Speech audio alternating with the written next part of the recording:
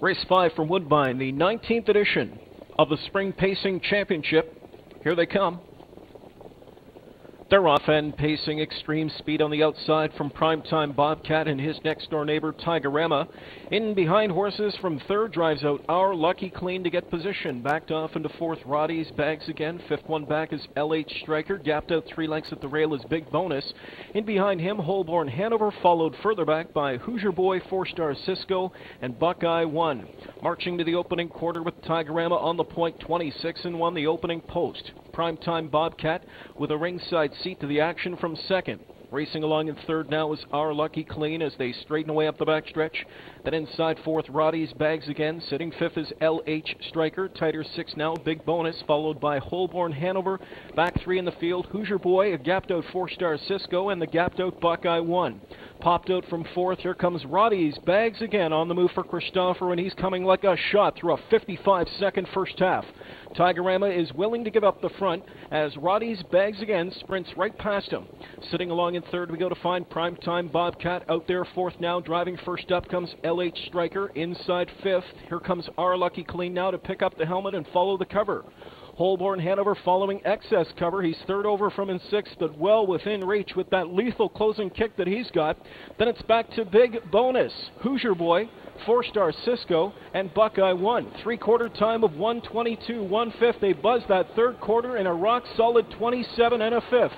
And the one they've got to catch is Roddy's Bags again.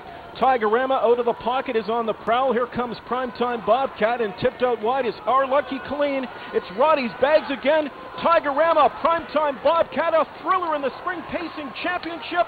Tigerama and Primetime Bobcat noses apart. Who knows? Maybe noses together. In 149 and 4, it was a great one no matter how you slice it. Chip final.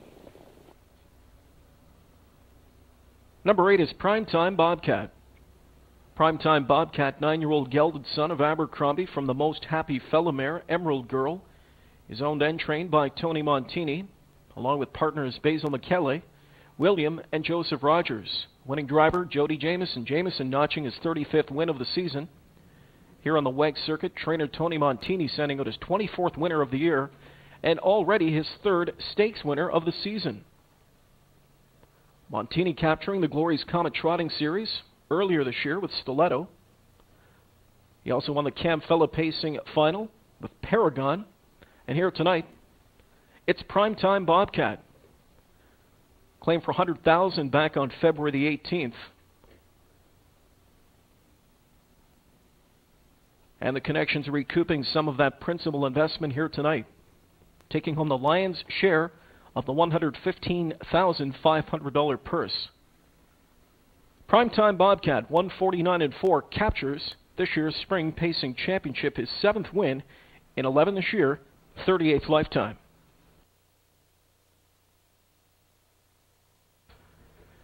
Thirty-nine seventy the win price on Primetime Bobcat, eight nine exactor, one hundred ninety-eight forty.